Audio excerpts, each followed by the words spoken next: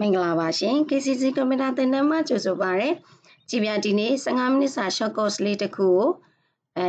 လေ့လာဖို့အတွက် sharing လေးလုပ်ပေးဖို့အတွက်စီစဉ်ထားပါတယ်။အဲ့ဒါလေးကတော့ဗာလေးလဲဆိုလို့ရှိရင်ညီမတို့ Excel မှာအသုံးပြုတဲ့သူတွေစီးနေချုပ်ချင်တဲ့အခါကျရင်လွယ်လွယ်ကူကူချုပ်ချင်ကြတယ်။အာ formula တွေဘာမှမသုံးချင်ဘူးပေါ့။အဲ့တော့စင်းချုပ်တဲ့အခါကျလို့ချင်းဥပမာကိုကဟိုကိုလိုချင်တဲ့စင်းတွေကိုချုပ်မယ်ပေါ့နော်အဲ့လိုမျိုးစင်းတွေချုပ်တဲ့အခါကျရင်နောက်အေးနောက်ကဆိုရင် formula တွေပါသုံးရတယ်အဲ့ တော့ formula မသုံးမဲနဲ့လွယ်လွယ်ကူကူသုံးလို့ရတဲ့အပိုင်းလေးကိုရှိလားရှိပါတယ်ဗာလေးလဲဆိုရင်တော့ညီမတို့ဒီ pivot table လေးပေါ့နော် pivot တချို့ကြလည်း pivot လို့ခေါ်တယ်တချို့ကြလည်း pivot လို့ခေါ်ပါတယ်အဲ့တော့ဒီစင်းလေးတွေကိုချုပ်တဲ့အခါမှာလွယ်လွယ်ကူကူချုပ်လို့ရတယ် pivot table လေးကို share လေးလုပ်ပြီးသွားပါမယ် Okay ဒါဆိုလို့ရှိရင်ဒီထဲမှာဟို pivot table မှာချက်စရာဆွဲတာလေးတွေထည့်ပေးထားတယ်ပြီးတော့ရင် group လောက်တာလေးတွေစီးရင်တွေကို ကိုလိုချင်တဲ့ပုံစံလေးတွေကိုချပြီးတော့မှသုံးတာလေးတွေဒီမှာအကုန်လုံးထည့်ပေးထားပါတယ်နော်။ Okay တရားလေးတွေကိုသုံးပြီးတော့မှလက်တွေ့လုပ်ငန်းမှာဒီ pivot table လေးနဲ့စေးနေပါရချုပ်တဲ့အခါမှာလွယ်လွယ်ကူကူထုတ်လို့ရပါလိမ့်မယ်။ Okay ဒါဆိုရင်အရှိမ data ဆိုတာလေးရှိတယ်။ data ဆိုတာလေးကတော့ဒီပြတို့ဒီလုံးမဲ့ကိုလုံးမဲ့လုပ်ငန်းရဲ့ data အချက်အလက်ပေါ့နော်။ဒီမှာဆိုရင်တော့ရေးပေးထားတဲ့ရေးရနှစ်တစ်နှစ်ချင်းစီမှာဝင်တဲ့ စင်းလေးတွေရေးပေးထားတယ်အဲ့တော့ဒီစင်းလေးကိုကြတော့ကြည်ပြဘယ်လောက်ထိသွင်းထားလဲဆိုရင်3နှစ်စာစင်းလေးသွင်းထားတယ်မြင်ရလားမသိဘူးเนาะနည်းနည်းလေးချဲပေးမယ်3နှစ်စာစင်းလေးသွင်းထားတယ်2015ပါမယ်ပြီးတော့အပေါ်ဆုံးမှဆိုရင်2013ပါမယ်အလယ်မှာဆိုရင်တော့2014ပါမယ်ပေါ့နော်မန်မန်ကတော့တစ်လချင်းစီမှာဝင်တဲ့အဲတစ်လချင်းစီကိုရောင်းရတဲ့စင်းတွေကိုထည့်ပေးထားတယ် type type ကတော့ဥမာ item name ပေါ့ဒီနေ့အဖြစ်ပြောမယ်ဆိုရင်တော့ကိုရောင်းထားတဲ့ item ပစ္စည်းလေးတွေပါလိမ့်မယ် C% C% ဆိုတာတော့ရောင်းထားတဲ့ customer တွေနဲ့နာမည်ပါလိမ့်မယ် region region ကတော့ညီမတို့ရောင်းထားတဲ့မြို့နယ်တွေကိုဒီမှာထည့်ပေးထားပါတယ်ပြီးတော့ရင်နောက်ထပ်ကောနောက်ထပ်ဒီမှာရောင်းရတဲ့ sales ငွေ amount တွေဒီမှာထည့်ပေးထားတယ်နောက်ထပ်တစ်ခုကရောင်းရတဲ့အရေးအတွက်အရေးအတွက်တွေလည်းဒီမှာထည့်ပေးထားတယ်နောက်တစ်ခုက aura aura ဆိုတော့သူတို့ရဲ့ aura number တွေပေါ့နော် ID နံပါတ်တွေအဲ့တော့ဒီမှာရေးထားတဲ့စင်းလေးတွေကဟိုကိုကြိုက်တယ်လို့သုံးလို့ရတယ်เนาะအရှိနောက်ပြန်ပြီးတော့လည်းပြောင်းလို့ရတယ်ထပ်ပြီးတော့မှစင်းတွေထပ်တိုးခြင်းနဲ့ဆိုရင်လည်းထပ်ပြီးတော့တိုးလို့ရပါတယ်เนาะ Okay အခုဒီမှာရှိနေတဲ့စရင်ဒီတီအသေးစိတ်စင်းလေးတွေကိုဘယ်လိုလေးသုံးချင်တာလဲဆိုလို့ချင်းဒီဘက်မှာ pivot ဆိုပြီးတော့မှစင်းလေးတွေချုပ်ထားတဲ့နမူနာလေးရှိပါတယ်အဲ့တော့ဒီမှာဆိုရင်သူကလာတလချင်းစီမှာဝင်တဲ့ဝင်ငွေလေးတွေကိုချုပ်ပေးထားတယ်ဥပမာ January လမှာဝင်တဲ့ဝင်ငွေရဘယ်လောက် ဖေဖော်ဝါရီလမှာဝင်တဲ့ဝင်ငွေရဘယ်လောက်မတ်လမှာဝင်တဲ့ဝင်ငွေရဘယ်လောက်ဆိုပြီးတော့မှတလချင်းစီရဲ့ဝင်ငွေတွေကိုဒီမှာ pivot လေးနဲ့ချုပ်ပေးထားတယ်ပြီးတော့အဲ့ဒီဝင်လာတဲ့လတွေကိုမှဘာလုပ်မလဲဆိုရင် group တွေဖွဲ့မယ်နော် group တွေဖွဲ့မယ်ပြီးတော့ရင် format တွေချမယ်ပြီးတော့ရင်ကိုလိုတလိုပြန်ပြီးတော့မှပြင်ဆင်သတ်မှတ်မယ်ပေါ့နော်ဟုတ်ပြီဒါဆိုရင်စပြီးတော့မှလေ့လာကြည့်မယ် pivot တစ်ခုစပြီးတော့ဖန်တီးတော့မယ်ဆိုရင်ဘယ်ကိုသွားမှလဲဘယ်ကိုသွားမှလဲဆိုရင်တော့ညီမတို့ဒီမှာ insert tab လေးထဲမှာ pivot table ဆိုတာလေးရှိပါတယ်အဲ့ဒါလေးမသုံးချင်ဘူးဆိုရင်တော့ keyboard shortcut ကနေပြီးတော့သွားလို့ရတယ် keyboard shortcut ကသွားချင်တယ်ဆိုရင်တစ်ချက်လေးပြပေးမယ်ဒီ version 2013 2016သုံးတဲ့သူတွေဆိုရင်တော့ keyboard shortcut က Alt ရဲ့ N ရဲ့နှိပ်ပေးရမယ်အဲဒီ2010 2009သုံးတဲ့သူတွေဆိုရင်တော့သုံးပေးရမယ့် shortcut က Alt N ရဲ့ပို့တယ် အဲ့ဒါလေးတစ်ခုပါပဲ။ Okay ဒါဆိုလို့ချင်းကြည်ပြတို့ဒီမှာ keyboard shortcut လေးတုံးကြည့်မယ်။ Alt ရဲ့ N ရဲ့ဘူးရေ။ဒါဆိုလို့ချင်းဒီမှာ create pivot table ဆိုပြီးတော့ကြာလာပါလိမ့်မယ်။ select a table ဆိုတော့ table တစ်ခုလုံး select ပေးမှာလား။သို့မဟုတ် range လိုချင်တဲ့ data ကို select ပေးမှာလား။အဲ့တော့ဒီမှာကတော့ကိုက range လောက်ထားတာဖြစ်တဲ့အတွက် range ကိုပဲ select ပေးမယ်။တခါတလေမှာ select က auto ဝင်ပြီးသားလည်းဖြစ်နေပါလိမ့်မယ်။ပြဿနာမရှိပါဘူး။ Okay ဒါဆိုလို့ရှိရင်ဒီမှာရပြီပြီးတော့ဒီအောက်မှာ new worksheet ဆိုတာလေးရှိပါတယ်မြင်ရရဲ့လားမြင်မှာပါနော်ဒီဟာလေး new worksheet ဆိုတာလေးရှိပါတယ်အဲ့တော့အဲ့ဒီ new worksheet လေးကိုနှိပ်လိုက်ပါပြီးတော့ရင် okay လေးနှိပ်ခဲ့လိုက်မယ်ဒါဆိုရင်ဒီမှာစရင်းလေးကြာလာလိမ့်မယ်ဒီ pivot ဆိုပြီးတော့မှကြာလာလိမ့်မယ်နော်အဲ့တော့ pivot မှာအသာချက်လေးတစ်ခုကဘာလဲဆိုရင်ချက်ချင်း data ကြာမလာဘူးသူကဒီမှာအလုပ်လုပ်တဲ့ to pay the report တဲ့ report တစ်ခုတည်ထောင်မှုအတွက်ဆိုရင် choose fee ခေါင်းစဉ်တွေရွေးပေးပါ from the pivot table field list ညာဘက်မှာမြင်နေရတဲ့ pivot table field list တွေကနေခေါင်းစဉ်တွေရွေးပေးပါဆိုတော့ဒီဘက်ဘယ်ဘက်ည sorry ညာဘက်အချက်မှမြင်နေရတဲ့ပိုင်ဘော့ table ဆိုတဲ့ Felix ကြီးတွေကနေခေါ်ပေးရမှာတကယ်လို့များလေဒီဘက်က Felix ကပျောက်သွားတယ်အကြောင်းမျိုးမျိုးကြောင့်ပျောက်သွားတယ်ဆိုရင်ချက်ချစ်ကလေးကပိတ်လိုက်တယ်နော်ဒီလိုပျောက်သွားတယ်ပေါ့ပျောက်သွားတယ်ဆိုဘယ်ကနေခေါ်မလဲဆိုရင်ပိုင်ဘော့ table analyze တဲ့က show တွေကနေပြီးတော့မှ Felix ဆိုတာလေးကိုခေါ်ပေးပါဒါဆိုရင်ဒီမှာပြန်ပြီးတော့တက်လာလိမ့်မယ်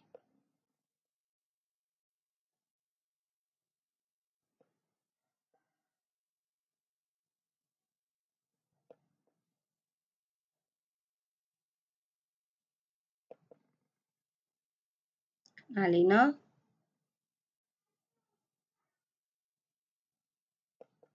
อืมဒီနေ့ mouse ကမပါလာတော့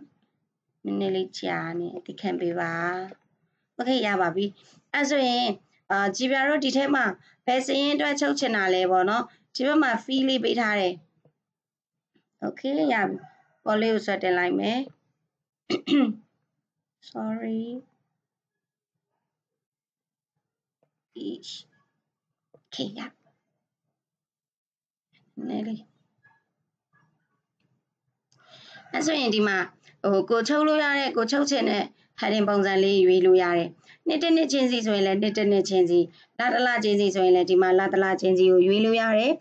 အဲပြီးတော့ရင် type ဆိုရင်လည်း type ပေါ့ဒီဘက်မှာဆိုရင် scroll bar လေးလည်းရှိတယ်နော် scroll bar လေးနဲ့ဆင်းပြီးတော့မှ save person တွေ region တွေအကုန်လုံးချုပ်လို့ရတယ်အဲ့တော့ကြည်ပြန်ကတော့အလွယ်တကူလေးပဲဘာလေးလဲဆိုရင်လကိုချုပ်ပြပေးမယ်အဲ့တော့လကိုချုပ်ချင်တယ်ဆိုရင်လရဲ့အရှိမှာချက်ပေါက်လေးရှိပါတယ် အဲ့ဒီချက်ပေါက်လေးကိုတစ်ချက်လေးနှိပ်လိုက်ပါဒါဆိုရင်သူကဒီမှာလတလချင်းစီရဲ့စီးရင်လေးတွေကြာလာပါလိမ့်မယ်အဲ့တော့ဒီဘက်မှာချုပ်ချင်တဲ့အခါမှာရောင်းရတဲ့ငွေအမောက်ကိုရချင်တာလားဒါမှမဟုတ်လို့ချင်းရောင်းရတဲ့အရေးအတွက်ကိုရချင်တာလားရောင်းရတဲ့တန်ဖိုးကိုရချင်တယ်ဆိုရင် sales ကိုယူမယ်ရောင်းရတဲ့အရေးအတွက်ကိုရချင်တယ်ဆိုရင် unit ကိုယူမယ်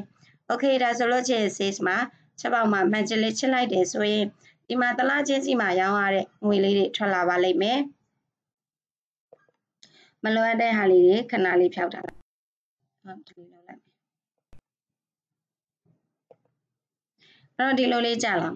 ဒီလိုလေးကြာလာပြီဆိုရင်အာကိုကဘယ်နှစ်ရက်နေ့မှာဘာဝယ်ထားတာလဲအော် sorry sorry ဘယ်နှလပိုင်းမှာဘာဝယ်ထားတာလဲဘယ်နှလပိုင်းမှာတော့ငွေဘယ်လောက်ဝင်တာလဲပေါ့နော်တကယ်လို့မဟုတ်ဘူးဥမာဟိုလဆယ်လချင်းကိုရောင်းရတဲ့အရေးအတွက်လေးတွေကြည့်ကျင်နေဆိုလို့ရှိရင်လည်းကြည့်လို့ရတယ်ဒါဆိုရင်တော့သူ့ရဲ့အောက်မှာရှိနေတဲ့ unit ပေါ့ unit ကလေးကိုအမှတ်ချက်ကလေးထည့်ခဲ့လိုက် ဒါဆိုရင်ဒီဘက်မှာကရောင်းရတဲ့ unit ဒီဘက်မှာကရောင်းရတဲ့ amount အဲ့ဒါအောက်မှာအပေါ်မှာ sum of sale တို့ sum of unit တို့ပါလိမ့်မယ်အဲ့ဒါလေးတွေကပြန်ပြင်လို့ရတယ်เนาะအဲ့တော့ဒီမှာ sales amount လို့ရေးခဲ့လိုက်မယ်ဒီဘက်မှာကြားလို့ချင်း unit ပေါ့အဲ့တော့ခေါင်းစဉ်ရလေးတူလို့မရဆွေးပါလေးချပေးလိုက်အနာလေးခောက်ချလိုက်ဒါဆိုရင်ဒီမှာလတွေထွက်လာမယ်တလချင်းစီမှာရောင်းရတဲ့ငွေအမောင့်တွေကြည့်လို့ရမယ်တလချင်းစီမှာရောင်းရတဲ့အရေးအတွက်တွေ ကြည့်လို့ရမယ်ဒါဆိုရသွားပြီเนาะ okay နောက်တစ်ဆင့်လေးကြတော့ဘာလေးဆက်သွားမလဲဆိုရင်ကျွန်တော်တို့ group ဆိုတာလေးဆက်သွားမယ် group ဆိုတာလေးကတော့ဘာကိုပြောတာလဲဆိုရင်အခုစင်းနေသွင်းထားတဲ့စင်းကတာနည်းနည်းလေးပဲရှိသေးလို့တတအရင်မများလို့လွယ်လွယ်ကူကူကြည့်လို့ရတာပေါ့နော်တကယ်လို့ကိုယ့်ရဲ့စင်ကအရင်များတယ်ဆိုရင်ဘာလုပ်လို့ရလဲဆိုရင် group တွေနဲ့ခြုံထားလို့ရတယ် group တွေနဲ့ခြုံထားခြင်းနဲ့ဆိုရင်ခြုံထားလို့ရတယ်ခြုံထားခြင်းနဲ့ data ကိုအရင်ဆုံးဘာလုပ်မလဲဆိုရင်ဆက်လက်ပေးရအဲ့တော့အခုဆိုရင်ညီမကဒီမှာ quarter တွေနဲ့ group ခြုံလိုက်မယ် January ကနေ March လဆိုရင် quarter ဘလောက် April ကနေ June ဆိုရင် quarter ဘလောက် November ကနေ December ဆို quarter ဘလောက်ဆိုတာကို quarter လေးတွေနဲ့ချုပ်လိုက်မယ်အဲ့တော့ quarter မသိသေးတဲ့သူတွေကိုထပ်ပြီးတော့မှဒီမှာတစ်ချက်ပြောပြပေးပါမယ်အဲ့တော့ quarter က calendar year ရှိတယ် financial year ရှိတယ် calendar year ကတော့အားလုံးလုပ်ငန်းတိုင်းအတူတူပါပဲ Excel ကအလုပ်လုပ်တာကလည်း calendar year နဲ့အလုပ်လုပ်တယ်တကယ်ညီမတို့အပြင်မှာ financial year နဲ့စင်းနေပါတယ်ချုပ်တဲ့အခါကျရင်တော့ financial year နဲ့သုံးပေးရတယ် financial year ဆိုတာအသေးမရှိဘူးလုပ်ငန်းတစ်ခုနဲ့တစ်ခုပေါ်မှာကွာပါတယ်ကိုယ့်ရဲ့လုပ်ငန်းစထောင်တဲ့နှစ်ကသူက quarter 1လို့စသတ်မှတ်ပါပေါ့နော်ဥပမာကိုယ့်ရဲ့လုပ်ငန်းမှာကိုက April မှာစတယ်ဆိုရင် April May June ဒီ quarter 1ဖြစ်သွားမှာ အဲ့တော့အဲ့ဒါတွေမပြောတော့ပါဘူးဒီမှာတော့ညီမတို့ calendar year ကိုပဲပြောလိုက်မယ် January ကနေ March လထိက quarter 1 April ကနေ June ထိက quarter 2 July ကနေပြီးတော့မှဇူလိုင်ကနေပြီးတော့မှစက်တင်ဘာထိရ quarter 3အောက်တိုဘာကနေပြီးတော့မှဒီဇင်ဘာထိရ quarter 4ပေါ့နော်ဒီလိုလေး Okay ဒါဆိုလို့ရှိရင်ဒီမှာ January ကနေ March ကို quarter 1လို့သတ်မှတ်ပါတယ်။ April ကနေ June ထိကတော့ quarter 2လို့သတ်မှတ်ပါတယ်။ July ကနေ September ကတော့ quarter 3ပါ။ October ကနေ December ထိကတော့ quarter 4ပါ။ဒါဆိုရင်ဒီမှာ January ကနေ March လထိကိုညီမတို့ group တစ်ခုဖွဲ့မယ်။ဒီဥဆုံးကို group ဖွဲ့ခြင်းတဲ့အပိုင်းလေးကိုဆက်လက်လေးပေးလိုက်။ပြီးမှသူ့ရဲ့အပေါ်မှာဆက်လက်လေးပေးမယ်။ပြီးဆက်လက်ပေးထားတဲ့အပေါ်မှာညာဘက်ကလေးလေးနှိပ်လိုက်ပါ။ group ဆိုတာလေးရှိပါတယ်။အဲဆိုရင်ဒီမှာ group 1ဆိုပြီးတော့ဝင်သွားလိမ့်မယ်။အဲ့တော့အဲ group 1လေးမှာနာမည်ပေးခြင်းနဲ့ဆိုရင်ပေးလို့ရတယ်။ ကလေးတစ်ချက်နှိပ်လိုက်ကိုရေးခြင်းတဲ့အကြောင်းအရာလေးကိုရေးလိုက်မယ် quarter 1ပေါ့နော်။ April ရဲ့ June ရဲ့ဆိုလို့ရှိရင်သူတို့ကြတော့ quarter 2လို့သတ်မှတ်မယ်။ Okay ဒါဆိုလို့ရှိရင်ဒီမှာဆက်လက်လေးပေးလိုက်မယ်။ပြီးတော့ရင်ဒီမှာ right click လေးနှိပ်ခဲ့လိုက်မယ်။ group လုပ်လိုက်မယ်။ပြီးတော့ရင် group 2လေးထဲမှာ Julia quarter 2အနာလေးခောက်ချလိုက်။ပြီးတော့ရင်နောက်ထပ်တစ်ခုလေးရကြတော့ဒီအောက်မှာ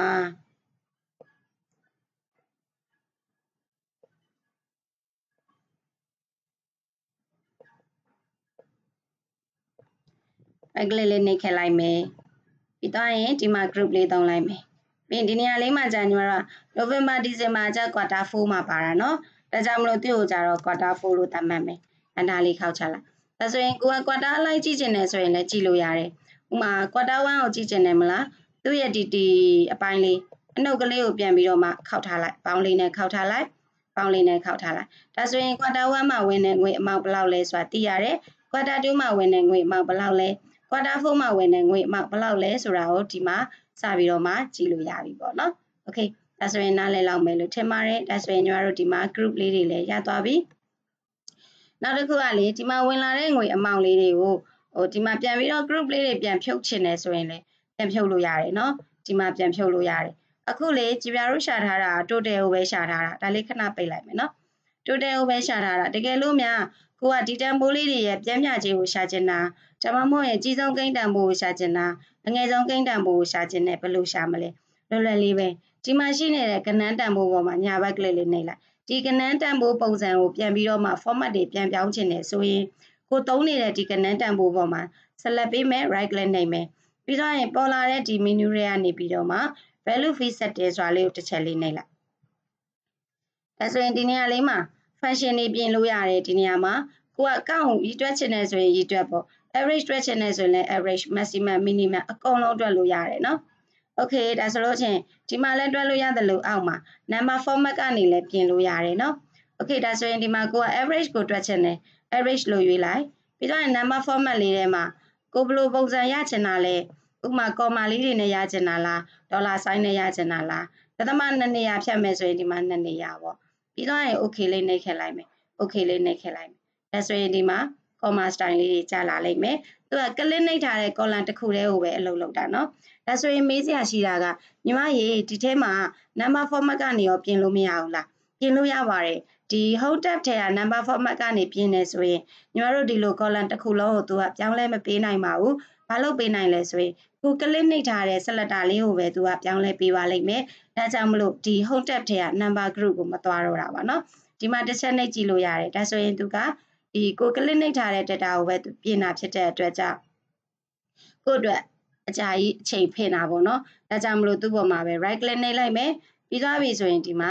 right click ပြီးရင် value fee setting လေးကိုနှိပ်လိုက်မယ်။ပြီးသွားရင်ဒီမှာ average ကိုရချင်တယ်။ဟုတ်ပြီ number format ပြီးတော့ရင်ဒီနေရာလေးမှာ currency ကိုရွေးမယ်ပေါ့ဒေါ်လာဆိုင်လေးထည့်မယ်ပြီးရင်ဖြုတ်လိုက်မယ် okay နှိပ်လိုက်မယ်။အော်ဒါလေးပဲပြီးသွားပြီ okay လေးနှိပ်ခဲ့လိုက်မယ်။ဒါဆိုလို့ရှိရင်ဒီမှာတန်တန်ဖိုးတစ်ခုတန်ဖိုးတန်ဖိုးတစ်ခုချင်းစီရဲ့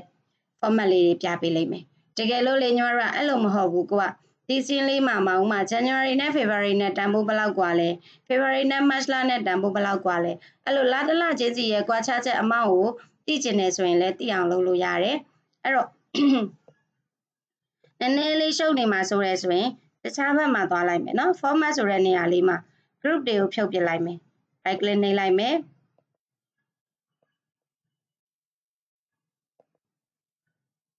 and group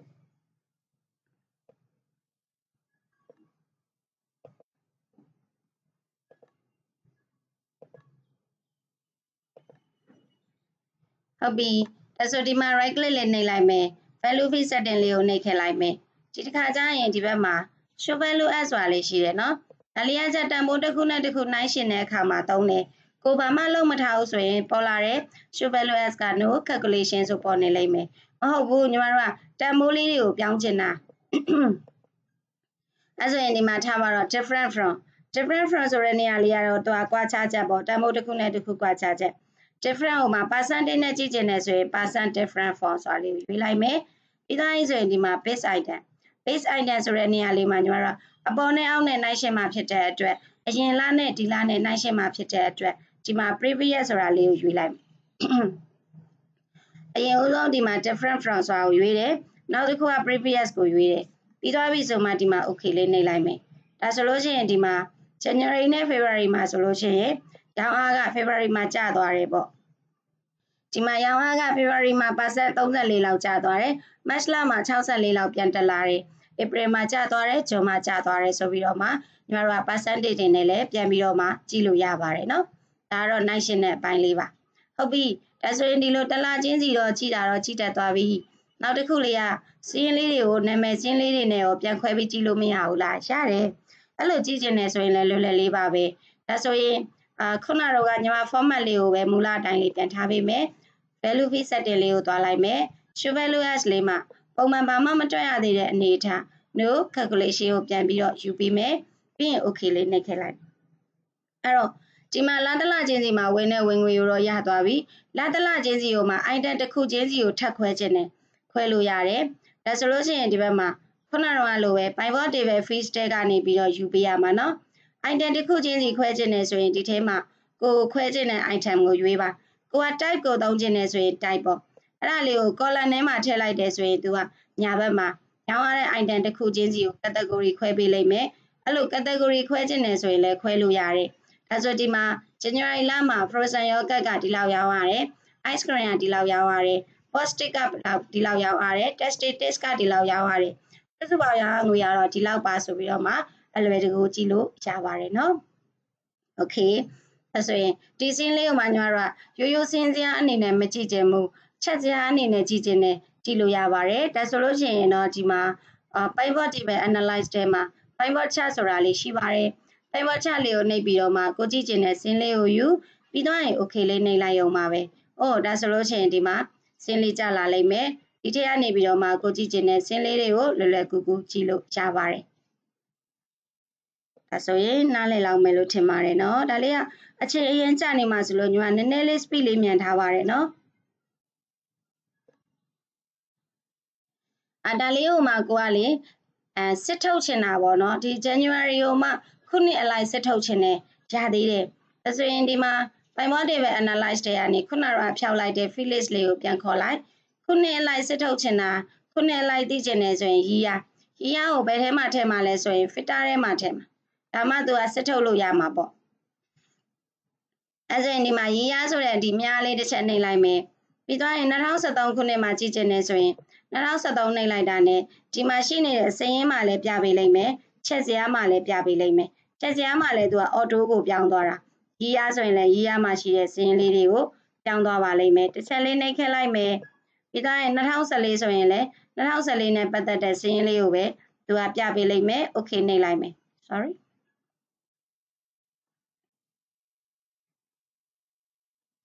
ဒါဆိုရင်2014ပေါ့ဒါဆိုရင်ဒီဘက်ကချက်စရာလေးမှလည်း2014နဲ့ပတ်သက်တာလေးပြပေးလိုက်မယ်အာဒီလိုပုံစံလေး filtering တော့မသုံးချင်ဘူးနောက်ထပ်တစ်နည်းသုံးလို့ရသေးတယ်နောက်ထပ်တစ်နည်းကတော့ဒီမှာ pivot table analyze တွေက access slicer ဆိုတာလေးရှိပါတယ်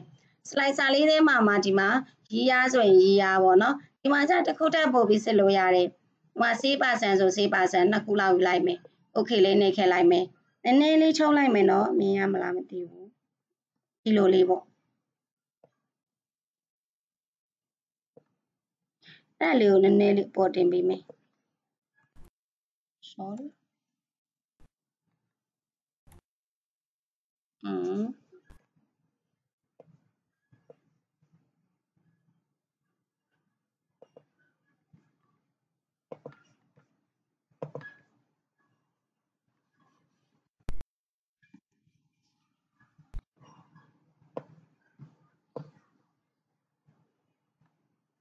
အဲ filtering ကမလိုတော့ဘူးဆိုတော့ဖြောက်လိုက်တော့မယ်နော် show တွေကနေပြီးတော့မှ Phyllis ဒါရင်းလေးပြန်ပြီးတော့အပြင်ကိုဆွဲထုတ်လိုက်အဲဆိုပြောက်သွားနော်ဒီပတ်စံလေးကိုအပေါ်လေးကိုတင်လိုက်မယ်အဲ့မှာလေးချုံတာတွေချဲ့တာတွေအကုန်လုံးသုံးလို့ရတယ်ပြီးတော့ဒီအပိုင်းလေးတွေကိုပြန်ပြီးတော့မှစီးကျင်နေဆိုရင်ဒီအပေါ်မှာ slicer ဆိုတာလေးရှိတယ်ကော်လန်ဘယ်နှကော်လန်ထားချင်တာလဲ ဥမာ၄ကော်လန်လောက်ထားချင်တယ်၅ကော်လန်လောက်ထားချင်တယ်အဲဆိုဒီလိုလေးဝင်သွားလိမ့်မယ်အဲ့ခါကျမှကိုကပြန်ပြီးတော့မှအချုံချဲ့လေးပြန်လုပ်ဒါကနေပြီးတော့မှပြန်ပြီးတော့မှခြုံပြလိုက်ဒီလိုလေးပေါ့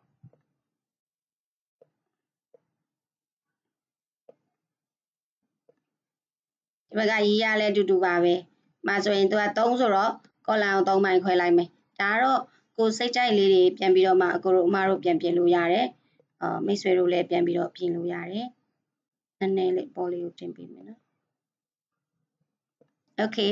အဲဆိုရင်2023မှာဝန်ထမ်းခွင့်အမောက်သိချင်တယ်ဆိုရင်နှိပ်လိုက်ရုံပဲ။အဲအဲ့ဒါကိုမှကိုက2023မှာဆေးပါဆန်ပိုင်းလျှော့ဝယ်ထားတဲ့သူကဘယ်သူလဲအဲ sorry ပိုင်းလျှော့ဝယ်ထားတဲ့ငွေအမောက်ကဘယ်လောက်လဲ။ဥမာလီဆိုရင်လည်းလီပါကတ်ဆိုရင်လည်းပါကတ်ပေါ့နော်အဲအဲ့လိုမျိုးလေးတွေပြန်ပြီးတော့မှဘာလုပ်လို့ရလဲဆိုရင်ကြည့်လို့ရတယ်အဲ့တော့ဒီအခု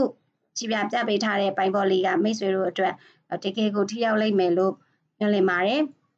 အဲ့တော့ဒီလိုမျိုးသင်ခန်းစာလေးတွေကို online ကနေလေ့လာချင်တာပဲဖြစ်ဖြစ်အာကြည်ပြတို့ဒီ KCC မှာဆိုရင် online class တွေလည်းဖွင့်ပေးထားပါတယ်အပြင်မှာလည်းလာပြီးတော့သင်လို့ရပါတယ်ဒီ pivot layer ကျတော့ Excel accounting မှာလည်းရေးကြည့်တယ်ဒီ business Excel မှာလည်းရေးကြည့်ပါတယ်အဲ့တော့ဒီလိုမျိုးလေးတွေတက်ချင်တယ်ဆိုလို့ရှိရင် online class ကနေလည်းလေ့လာချင်တယ်ဆိုလို့ရှိရင်လည်းချက်ပေါက်မှာဆက်သွယ်လို့ရပါတယ်အပြင်တန်းမှာလေ့လာချင်တယ်ဆိုလို့ရှိရင်လည်း လေ့လာလို့ရအောင်စီစဉ်ပေးထားပါတယ်ဒီ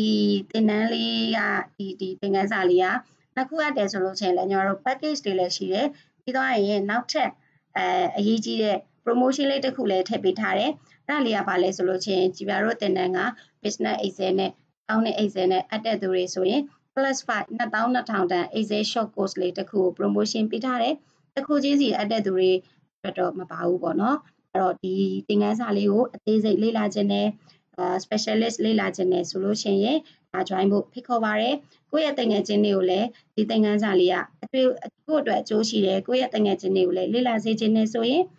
ပြန်ပြီးတော့မှ sharing လေးလုပ်ပေးဖို့မျှော်လင့်ပါတယ်။ကျေးဇူးတင်ပါတယ်။ကောင်းမွန်တဲ့မင်္ဂလာရက်မြတ်လေးကိုပိုင်ဆိုင်နိုင်ပါစေရှင်။နောက်ရက်မှာတိထက်ကောင်းတဲ့သင်ခန်းစာလေးတွေကိုထပ်ပြီးတော့ sharing လေးလုပ်ပေးသွားပါမယ်လေ့လာခြင်းတဲ့သင်ခန်းစာတွေရှိတယ်ဆိုရင် comment အောက်မှာမှတ်ပေးခဲ့ပါအောင်နော် bye bye